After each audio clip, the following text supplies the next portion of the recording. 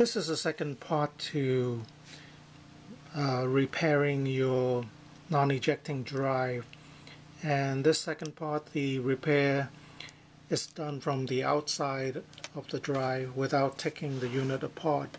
You just have to peel the sticker off and that would ex expose the plastic hub, the cover. You put a small screwdriver here and just and just break the the glue. So this is the plastic cover. And then you would have access to the hub. This is the nylon hub. And I had a piece of paper on the other side before. So this second part what you do is you take the metal piece out and put the paper inside the the metal. So it's sort of like uh, between the magnet and the nylon hub so this is the paper that I glued on this side before I unpeeled it. And you can look at the size of the magnet. It's so small. So I'm going to cut it this around the same size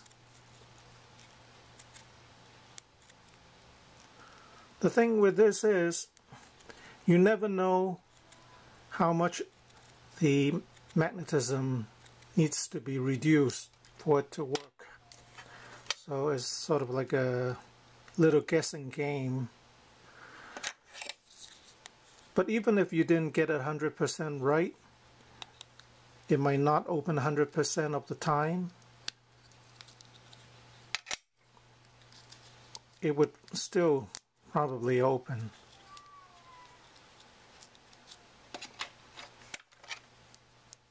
Oh, hear the Don cat out there.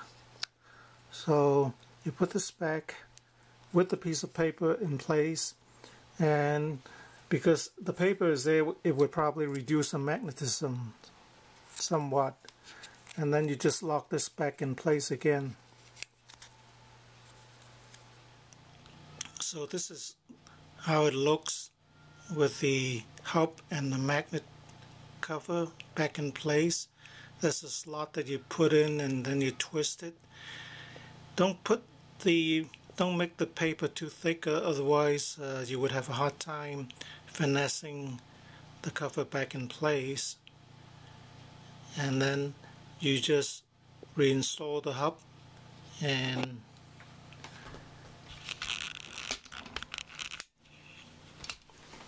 let's see here. You just put it back in like this and then this here you just glue it and put it back in. And hopefully it will work. But depending on the thickness of the paper and the magnetism it might not work 100% of the time like I said. But it should work enough times for you to be able to eject your disc. So this would be a better fix than to put your paper here because eventually I think the paper would come off whereas if the paper is inside and and covered by this plate here it would probably stay there and not come out so can see the slot. Yeah, this is how you take it back out. This is the magnet piece. This is the cover. Just center it back in the hole.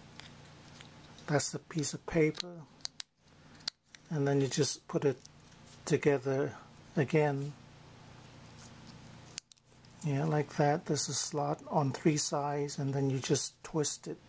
It's like a bayonet mount of some kind. But you have to do it just right. Uh, it's difficult to do on camera. But make sure you don't cut yourself because it's a little sharp you know the sheet metal here see? I don't know if you can see too clearly but now it is in place. If it is not in place this whole thing would come off and, and just spin and you're gonna have a problem because your disc won't be balanced and you're you're gonna have the thing swirling around and then making a whole lot of noise. So this would be more of a permanent fix. But probably the better fix is to buy a new one. They're so cheap now. The reason I took this apart is I actually got a new unit. I bought it for about $16 you can put some glue on it or if you don't have glue stick this whole thing back in. I'm, I'm sure it's not gonna fly out. And then uh, it's done